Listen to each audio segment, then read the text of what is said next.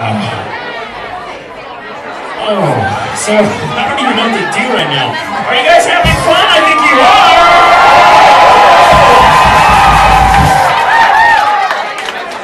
You want to hear another song by uh, Mr. John Brophy?